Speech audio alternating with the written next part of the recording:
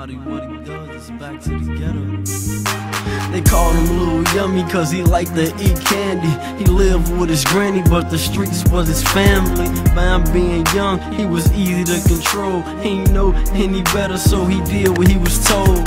Like drive ass, walk up to a guy, ask him what he claiming, wrong answer, and he died. I mean, he ain't really give a fuck. After doing niggas dirty work, they'll give him bucks. Or some type of cake or snacks. Locked up over 40 times, but could face the fact. And Shorty was only 11, but he posted up on 107. Yeah, a story about a young boy, black in the ghetto. No matter what he does, it's back to the ghetto. Ghetto. No choice but to adapt to the ghetto, so he adapts to the ghetto. The crack in mellow.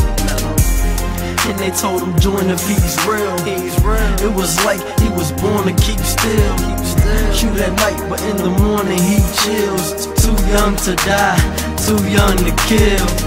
Yummy guys told him get up in the ride, and when they drove, they saw a lot of people outside.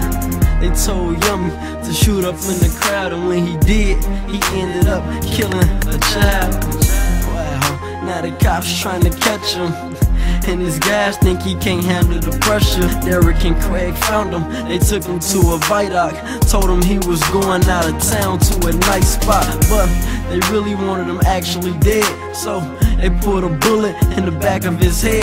Now the cops, they looking for the thugs. My nigga, only thing was left for Yummy was his mugshot picture. Story about a young boy, black in the ghetto. No matter what he does, it's back to the ghetto. Ghetto. No choice but to adapt to the ghetto, so he adapts to the ghetto. The crack in the mellow. And they told him join if he's real. He's real. It was like he was born to keep still. Keep still. Shoot at night, but in the morning he chills. Too young to die, too young to kill.